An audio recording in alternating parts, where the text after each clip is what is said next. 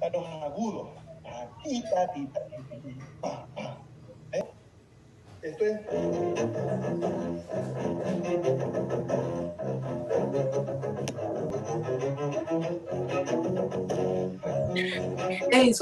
Para cerrar, quisiera que me hablaras de estas dos, estos últimos encuentros que has tenido con los jóvenes venezolanos a través de, de la, de estas plataformas que estamos explorando debido a la contingencia que vivimos. Y pues algo bueno ah, nos ha brindado y, y- y se conectaron en promedio 200 personas. ¿Cómo, cómo, cómo fue el encuentro? ¿Cómo, cómo viste a los muchachos? Muy, muy emocionante porque casi todos los miembros ahorita del sistema no los conozco. Muy emocionante de ver que eh, a pesar de que ya no está el profesor Félix Petit, que, para mí era el, profesor más productivo del, sistema, o sea, él ha tenido casi todos sus alumnos de la generación mía tienen puestos profesionales en Europa o en Estados Unidos.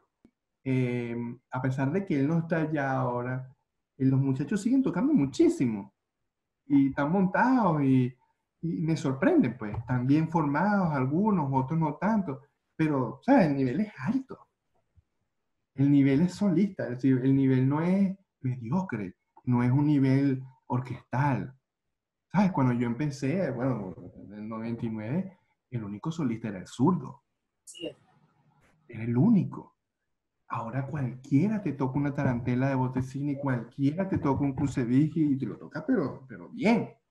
Yo quisiera, Edison, para despedirte, agradecerte este espacio, esta oportunidad de conversar contigo, de aprender, de poder mostrarle a las nuevas generaciones que sí se puede, que con perseverancia, tú dices que es suerte, pero es perseverancia, es constancia, porque me consta que eres un trabajador incansable del instrumento y, y en general de todo, de todo lo que apasiona al, al ser humano, música, la, las artes, la cultura, la lectura, todo lo que, lo que Dios ha puesto en tu camino, pero que tú has sabido aprovechar. No, mi niña, yo me siento, imagínate, chiquitico de, de estar aquí contigo, de verte desde, desde niño y ahora poder hablar contigo después, a pesar de la distancia. Y, y decirte que el maestro hebreo no era nada más una persona especial, no era nada más una persona visionaria, sino que realmente nos dio todas las herramientas para abordar y enfrentar nuestro, nuestro destino, que es esta vida. Ese, ese lema, tocar y luchar, está estrellado, pero es demasiado cierto. Si uno nada más toca, no tiene vida y no va a surgir y no te van a invitar y tampoco te van a tomar en cuenta. Tienes que luchar. Hay que luchar ¿cómo? Tocando, trabajando, como era él. ¿Cómo él contrarrestaba todas esas críticas y todo lo que hablaban de él? Trabajando. Trabajando. Y ahí con eso que él, lo- él se las bateaba todas de honrón. Esa es la lucha.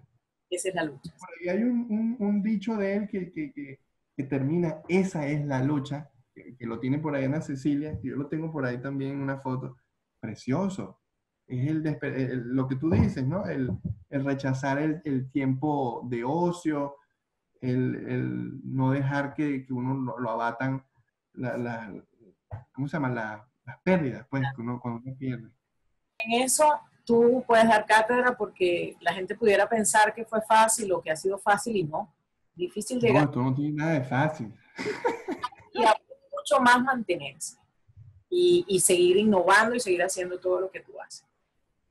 Pues yo me siento que yo, hasta ahora, bueno, yo no sé si tú supiste, yo tengo un bebito, eh, un varoncito de, hace- de, de seis meses, que se llama Maxim, y yo, me siento muy contento de que hice todo lo que hice antes, porque ahora, claro, cuando yo lo veo, no quiero, no quiero dejar de estar con él por ir a estudiar, ni mucho menos, ¿sabes? Edison, muchísimas gracias. Muy agradecido Un por el tiempo.